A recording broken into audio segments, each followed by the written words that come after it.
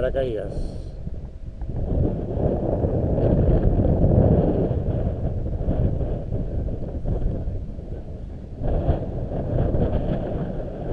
Paracaídas para evitar cualquier cosa.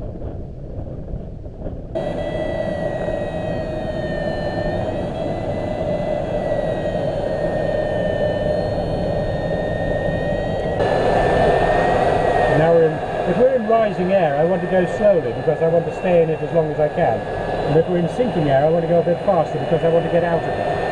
Yeah, okay. Straight ahead, straight ahead, and up a bit. There's a sort of scruffy little uh, cloud. that one, that one No, over there. Yeah. Straight ahead. About 30 degrees above your eye line. Okay. Oh yeah. Yeah, and then beyond that there's one with a grey bottom. Yeah.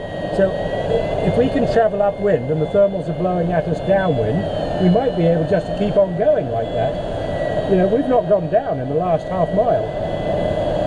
Okay. And as we come under, see about 45 degrees or 50 degrees up now, that little scruffy cloud, Yeah. look high up. See, that's going up like crazy. And we're still travelling in the same direction, we've not stopped. And then I see another one, and I go to that one. So I think to recognize them is a skill as well. Yes, you need to you need to go to a lot of clouds that don't work before you recognise the ones that do work. yeah. Yeah. Because for me, everyone is. Yeah, a- actually, the- the- oddly, Daniel, the ones that are working today are not the obvious ones. The obvious ones are the ones with grey flat bottoms and fluffy tops.